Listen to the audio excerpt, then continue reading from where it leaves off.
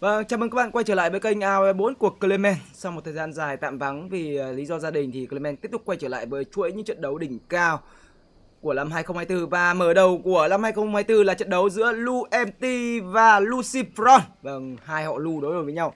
Lucifron đối đầu với Lu MT. Trong trận đấu này thì Lu MT là người cầm cho mình màu đỏ Mông Cổ, còn ở phía bên kia thì Lucifron là người cầm cho mình con Malian màu vàng. Map thi đấu là map hẻm núi. Vâng, con Malian trong tay của game thủ Lucifron sẽ đối đầu với cả con Mông Cổ như thế nào đây?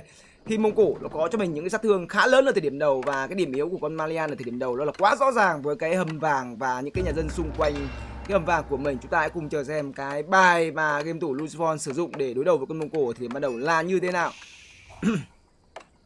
Scout đến từ vị trí của game thủ Luemti lấy được cho mình ba con cừu. Trong khi đó Scout đến từ vị trí của game thủ Lucifron đâu rồi? Đây rồi, đây có Scout. Ấy da, chưa được con cừu nào đến từ vị trí của game thủ Lucifron. Tuy nhiên thì con Malian số lượng cừu nó là cần cũng không phải là quá nhiều khi tài nguyên thực của Malian chủ yếu tập trung ở bò. Vâng, chủ yếu tập trung ở bò anh em ạ. Có vàng là có thực vàng. Hai cái nhà dân đến từ vị trí của game thủ Lucifron. Hai cái nhà dân Vậy là Lucifron đang có ý đồ ra cho mình một cái nhà lính ở thời điểm đề 1 thì phải. Có vẻ như là như vậy. Chúng ta hãy cùng chờ xem. Liệu rằng có chuẩn xác là một cái nhà lính hay không? Lượng gỗ của anh ta đang là 100 gỗ, Và 150 gỗ. Chúng ta hãy cùng chờ xem Liệu rằng có một cái nhà lính đến từ vị trí của game thủ Lucifron Xa cho mình những đơn vị lính giáo của Malian, Đối đầu với lính giáo của Mông Cổ. Tôi nghĩ rằng đây là một sự lựa chọn hoàn toàn hợp lý và chính xác rồi. Đây, đây là cái nhà lính đầu tiên đến từ vị trí của game thủ Lucifron. Sau khi có được cái nhà lính đầu tiên thì số lượng thực anh ta cần đâu đó nó rơi vào khoảng tầm 10 con dân khai thác thực. Khoảng tầm 10 con dân khai thác thực để có thể ra đều cho mình một cái nhà chính và một cái nhà lính ở đây.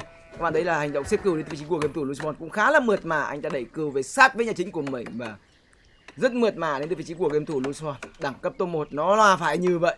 Trong khi đó, đây là cái nhà chính đến từ vị trí của game thủ LMT và cũng một tình huống xếp tường cũng khá là mát máy đến từ vị trí của game thủ LMT nha. Bắt đầu có cho mình tên lính giáo đầu tiên đến từ vị trí của game thủ LMT và con hãn đã làm hoa tiêu rồi. Đã sao phát hiện ra và đã phát hiện ra cái nhà lính đến từ vị trí của game thủ Lucifron rồi. LMT sẽ xử lý như thế nào đây? Biết được rằng đối phương ra cho mình những đơn vị Donso và những con lính giáo của Marian để chống lại lính giáo của Mông Cổ, chúng ta hãy cùng chờ xem. Lu MT sẽ xử lý như nào? Có đi dâng tròi nữa hay không? Hay tiếp tục chỉ là những tình huống mà bơm giáo lên đôi công với cả con Malian thôi?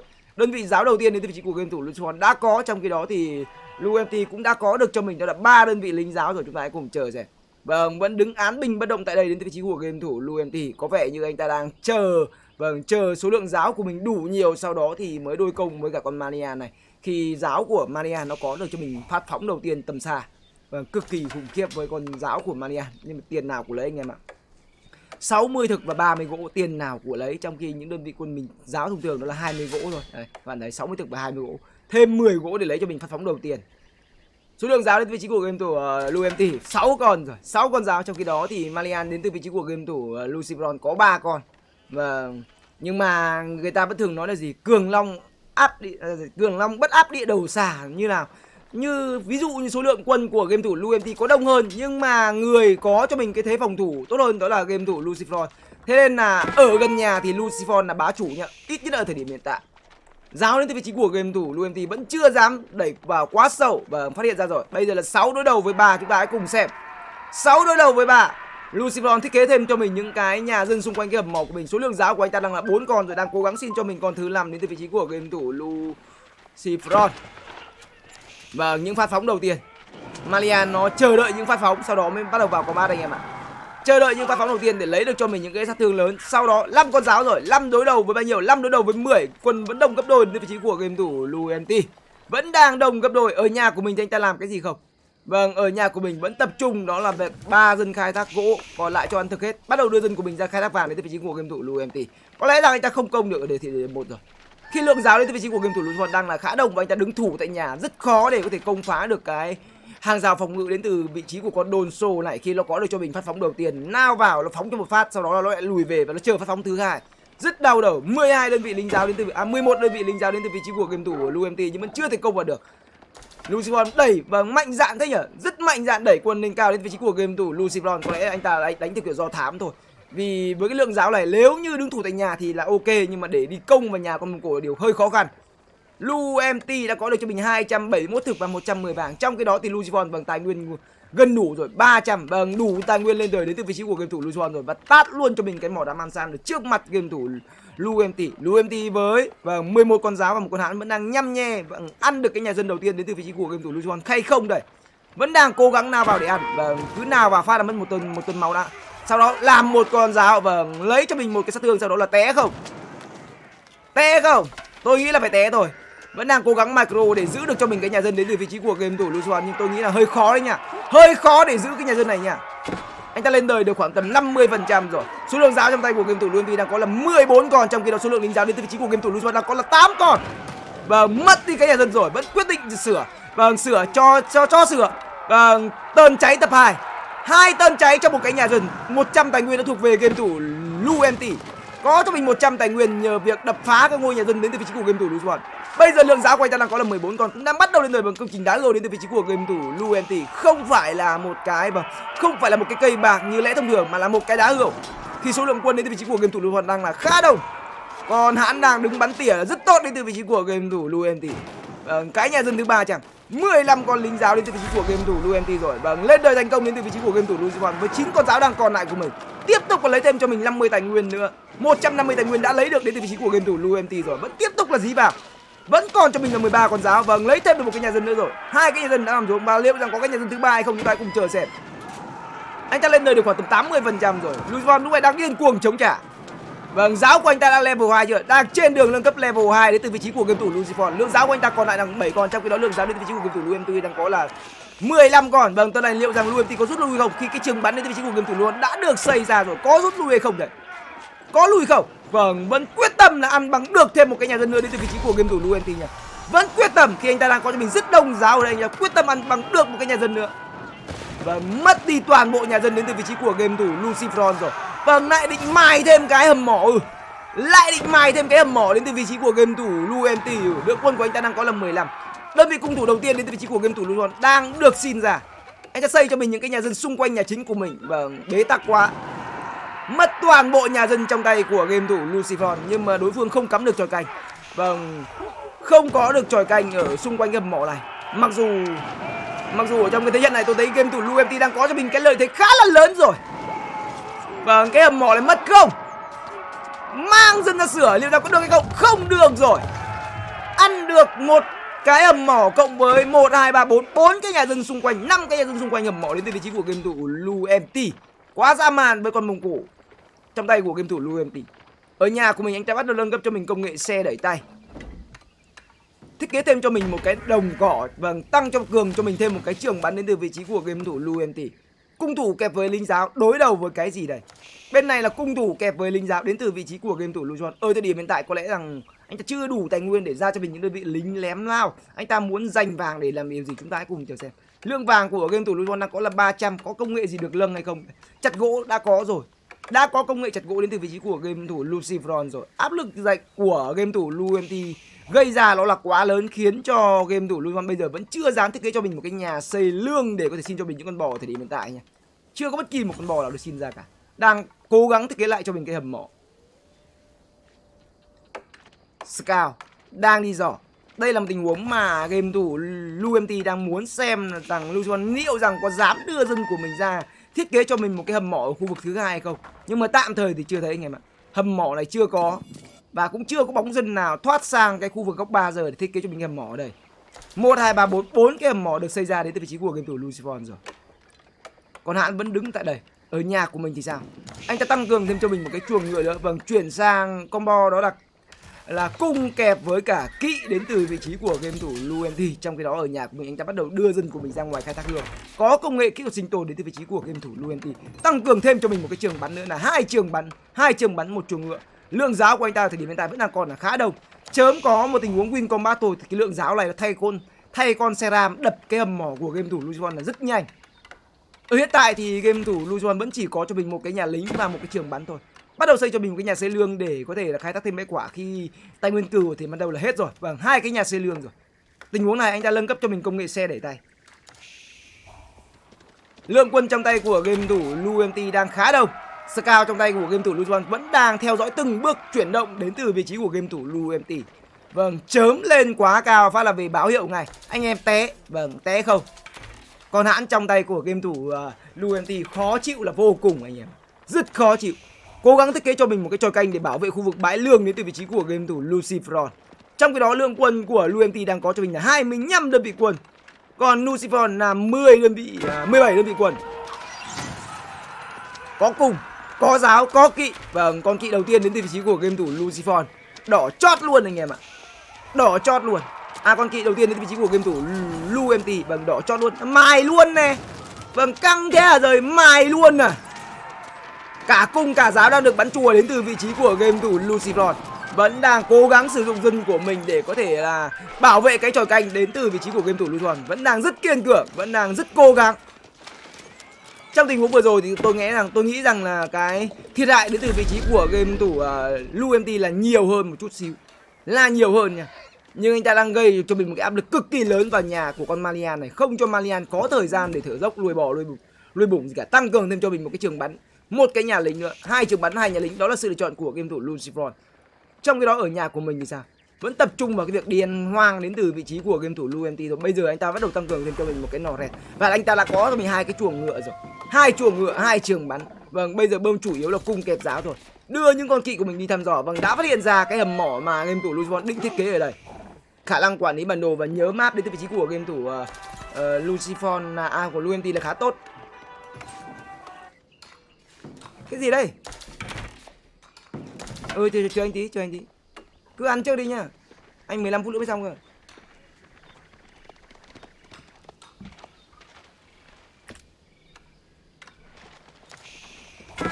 Hai con kỵ đi tuần đến từ vị trí của game thủ LuMT trong khi đó đại quân của anh ta vẫn đứng án binh bất động ở bên ngoài bằng tiếp tục làm một tình huống cắt cử kỵ vào trong đến từ vị trí của game thủ LuMT. LuMT thời điểm gần đây đánh khá nhiều tay, anh ta làm được rất nhiều việc cùng một thời điểm. Và tình huống này vâng vẫn không thể để mất kỵ đến từ vị trí của game thủ LuMT được. Đang cố gắng ăn bằng được con dân này không? Và một tên lao vào. Chạy đâu? Chạy đâu? Và khả năng chạy kịp được. Đã lúc sau lưng giáo đến từ vị trí của game thủ Lucifron rồi. Và anh ta cũng không dám đứng lại xây mà té luôn anh em ạ. Té luôn. Trong khi đó ở nhà của mình thì Lu MT đang bắt đầu nâng cấp cho mình công nghệ sát thương tầm xa. Lượng cung của anh ta hiện tại đang có là 21. 21 còn cùng 8 con kỵ trong khi đó ở bên kia Lucifron đã bắt đầu có cho mình những đơn vị lính lém lao rồi. 5 con lính lém lao đang được xin à đã, đang có đến từ vị trí của game thủ Lucifron. Vâng, Clement vẫn đang hơi ngọng cái phần lờ lờ tí anh em ạ. Anh em thông cảm nha. Kéo toàn bộ quân của mình lên khu vực cây hầm mỏ thứ hai đến từ vị trí của game thủ LuMT. Vâng, tình huống này liệu rằng Lucifon có mạnh dạn đưa quân của mình ra đây thủ hay không? Khi lượng quân của LuMT ở thời điểm hiện tại đang là 46 đơn vị quân lên đời và bơm quân cực kỳ đều đến từ vị trí của game thủ LuMT nhờ cái việc ăn ăn hoang cho mình một bầy hươu nhỉ. Bây giờ thì bầy hươu gần nhà đã hết, chúng ta hãy cùng xem anh ta ăn tiếp theo là cái gì đây sẽ là ăn con lợn lòi hay ăn tiếp cho mình cái bề hươu này? Này chúng ta hãy cùng chờ xem. Trong khi đó cái hầm mỏ đến từ vị trí của game thủ. Vâng các bạn thấy là một tình huống mà Lucifer tự động hủy đi toàn bộ khu vực vâng khai khu vực công trình của mình ở cái bãi vàng 8.000 này để không cho con mông cổ trong tay của game thủ LuFT lấy được quá nhiều tài nguyên. 1, 2, 3, 4, 5 5 nhân 5 là 250 tài nguyên. Vâng. Hại mình nhưng mà cũng hại người anh em ạ. Trong khi đó LuMT đang bắt đầu nâng cấp cho mình công nghệ Seram Lượng quân của anh ta thời điểm hiện tại đông gấp đôi so với đối phương rồi. Chờ Seram hay lao vào luôn đây. Tôi nghĩ rằng chờ Ram thôi. Hiện tại và vẫn chưa có bất kỳ một con bò nào được nuôi đến từ vị trí của game thủ Lucifon cả. Là một bài đấu mà Malian phải ăn sống bò nha. Xin bò và ăn sống đến từ vị trí của game thủ Lucifron Vâng, anh ta cũng đang có cho mình à, ba cái nhà lính và ba cái trường bắn rồi. Cố gắng ép quân thật nhanh để cân bằng được với lượng quân trong tay của game thủ LuMT. LuMT hiện tại là 30 con cung, 14 con giáo, 12 con khiếp bệ. Khiếp bệ tiếp tục là tách đi để cho cung và giáo đứng cạnh nhau. Scout trong tay của game thủ Lujuan liên tục quan sát tình huống để dõi theo từng bước chuyển động đến từ vị trí của game thủ LuMT. Sẽ không có bất kỳ một tình huống bất ngờ nào tràn vào nhà cả của mình cả. Trong khi đó thì LuMT đang cố gắng tránh tai mắt của con Scout này để đi tìm cho mình một đường vòng đây. Đang bắt đầu tìm cho mình một đường vòng để vào nhà của đối phương. Vâng, đang bắt đầu đi vòng anh em. Đang bắt đầu đi vòng. Trong khi đó, vâng, dự đoán tình huống đến từ vị trí của game thủ Luzon cũng là rất tốt nha. Anh ta đứng cung của mình gần nhà chính. Cũng không lo lắng đối phương tràn vào bắt cung của mình, nhưng anh ta lùi giáo của mình vào sâu. Căng cho mình một lớp rào gỗ ở đây. Vâng, lùi giáo của mình vào sâu để hy vọng rằng ngồi ôm cây đợi thỏ Vâng, những con thỏ trong tay của game thủ Luemty em tỷ đang bắt đầu kéo vào Liệu rằng có một tình huống mà lao đâm sầm vào đống giáo này không nhỉ? Nếu như đâm sầm vào đống giáo này để bị bắt quân thì chắc chắn rằng sẽ là một tình huống phản công ngược trong tay của game thủ Lucifon khi anh ta đang có cho mình lượng lính nhiễm nào nó cực kỳ đông.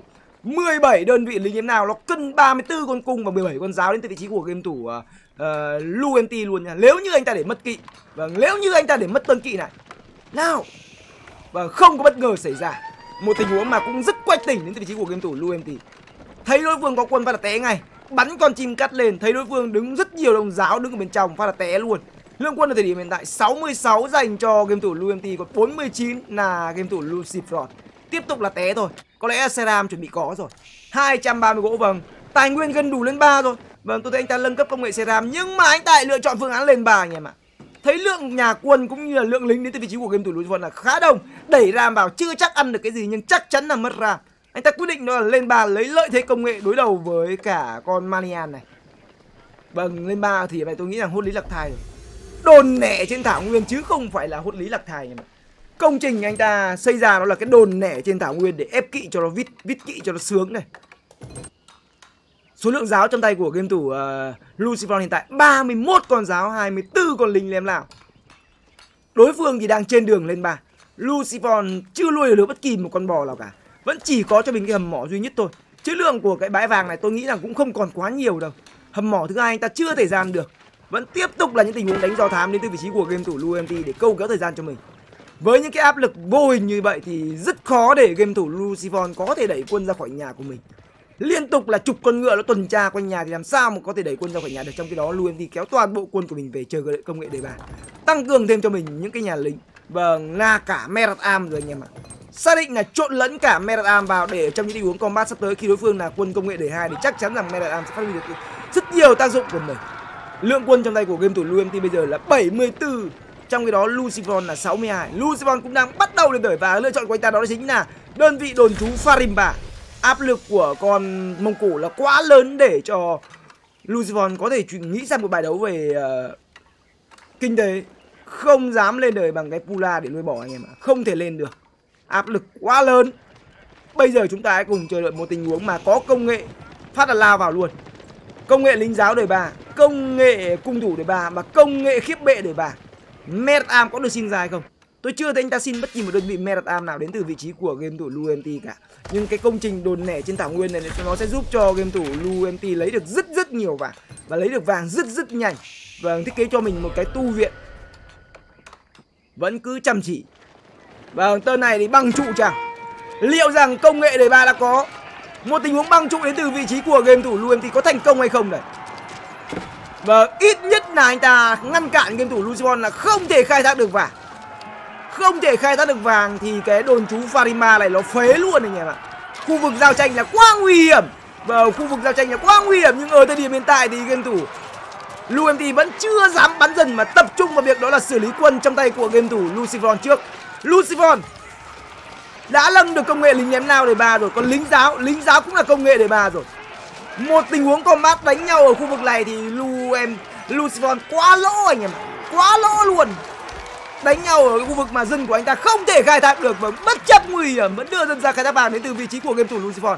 Không còn đường lùi nữa rồi. Nếu như anh ta không ăn vàng thì chắc chắn rằng anh ta không thể ra được quân. Mà không ra được quân thì làm sao đỡ được nhà anh ta đã bắt đầu có xu thế là thủ được nhà rồi. Nhưng mà kinh tế của anh ta bị thiệt hại nặng quá. Vâng. Cũng chưa chắc đã thủ được nhà cơ. Trong khi đó lượng kiếp bệ trong tay của game thủ Lu, Lu MT vẫn còn còn là vài con và đỡ được nhà rồi. Nhưng mà lượng dân của anh ta còn lại là 34 Còn lại 34 dần trong khi đối phương là 60 Quá khủng khiếp Sạch bóng quân thủ đến từ vị trí của game thủ Lu MT liệu rằng có phản công được hay không đây Bắt đầu có một vài đơn vị Met Arm rồi Bây giờ mà lại phải lên cho mình những đơn vị Musofali đến từ vị trí của game thủ Luzon thì đã yếu là càng yếu hơn. Vì sao? Vì đã lên Musofali lại phải nâng cấp một lần nữa anh em ạ. Lại phải nâng cấp thêm một lần nữa. Trong khi đó tài nguyên của anh ta thì hiện tại là có hạn. Đang bắt đầu lui binh đến từ vị trí của game thủ ờ, uh, Lưu MT. Khiếp bệ, me đặt am, cung thủ vẫn đang được vít đều. Thánh tích đã lấy được cho mình cái đầu tiên chưa? đang bắt đầu trên đường đi nhặt thánh tích vẫn tập trung vào việc đi ăn hoàng kết hợp với cả đồng cỏ ở nhà anh ta có cho mình là 16 con dân với bốn cái đồng cỏ được thiết kế bốn cái đồng cỏ này các bạn hình à năm cái đồng cỏ. Các bạn cứ hình dung là một cái đồng cỏ sẽ giúp cho ba con dân của bạn khai thác một cách cực kỳ thoải mái mà không cần đặt ở trong cái vụ thiêng nha. Cứ một đồng cỏ là ba con dân khai thác. Kỵ nhẹ cũng đã được xin ra. Metatam đang có là 10 con Cung thủ đang có là 8 con Kỵ nhẹ đang có là 3 con. Bắt đầu dồn rồi. Một tình huống mà game thủ ờ, uh, LUMT vừa ăn hết bãi vàng này Thành ra anh ta bị chậm một tơn Vâng chậm một tơn thành ra anh ta không xin được khiếp bệ nên anh ta phải ra cho mình những con kỵ nhẹ để giải, giải quyết tình huống. Đang cố gắng nâng cấp cho mình những con kỵ nhẹ đời ba. Số lượng quân còn lại của game thủ Luis đang có cho mình là 13 con lính liêm nào và 10 con giáo. Vâng bây giờ thì Metatam nó làm bố rồi anh em ạ. Metatam tràn lên giải quyết tất cả.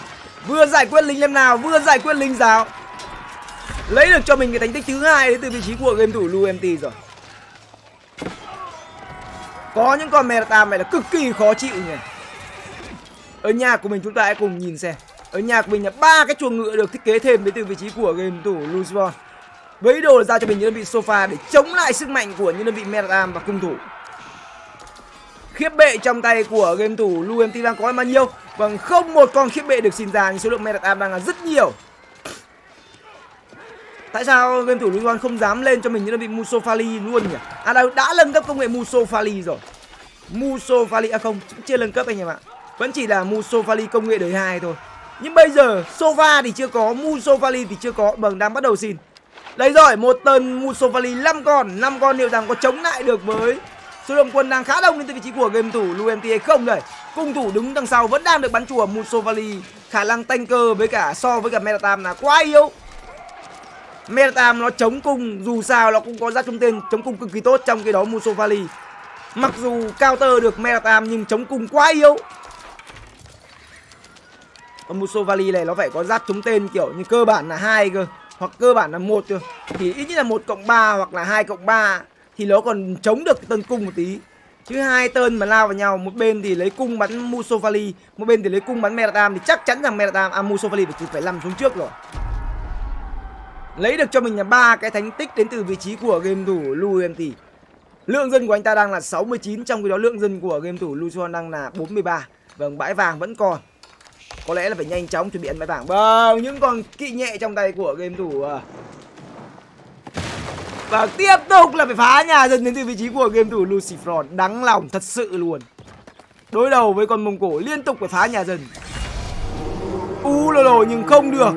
Và không được thì phải lộp thôi. Giết người cướp của là đẩy cái thành tích thứ tư đang trên đường trở về không. Cái thành tích thứ năm rồi, anh em ạ một tình huống mà Luzon cũng đang cố gắng bắt đường đi quân này. Không, nó chính xác hơn là anh ta đưa quân của mình ra để bảo kê những con dân khai thác vàng này. Hầm mỏ thứ hai không có. À thực ra là có, nhưng mà bị đốt hết nhà dân mà không phải bị đốt hết, mà anh ta tự phá hết nhà dân của mình đi. Các bạn thấy áp lực của game thủ Lu MT ở thời điểm hiện tại nó là quá mạnh.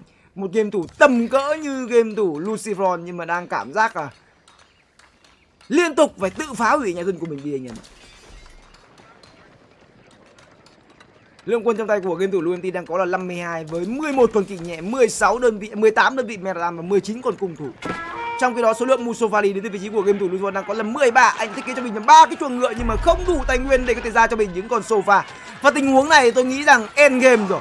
Số lượng quân trong tay của game thủ LUMT đông gấp 3 lần so với đối phương thì không có lý do thì không thể end game được ở trong tình huống này cả. Sau khi mất đống quân này thì không có ai có thể bảo vệ những con dân khai thác vàng đến từ vị trí của game thủ Luzon và rõ ràng là anh ta sẽ chết thôi. Và GG đến từ vị trí của game thủ Lucifron Mông Cổ sức mạnh nó phải là như vậy anh em ạ Phải là một con Mông Cổ đánh từ đời 1 lên tới đời 3 Đánh đến khi nào đối đối phương dơ cờ trắng đầu hàng thì thôi. Liên tục tấn công, liên tục tấn công.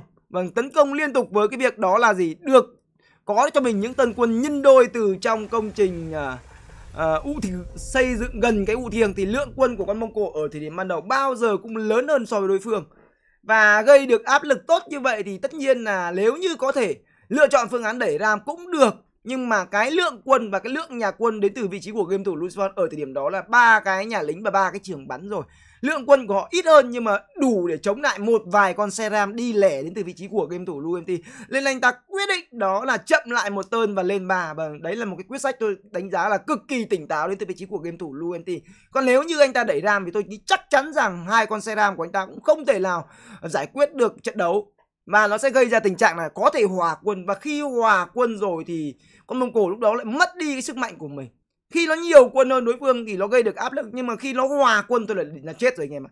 Vì cái công trình ờ, uh, ưu thiêng cung cấp thì tính ra một phút nó chỉ đào được 80 đá tương đương với một phút nó chỉ cung cấp cho các bạn một đơn vị uh, lính giáo hoặc là cung thủ free thôi. Một con thôi không ăn thua gì cả. Còn bây giờ thì Clement xin chào và hẹn gặp lại các bạn ờ, ở những video tiếp theo.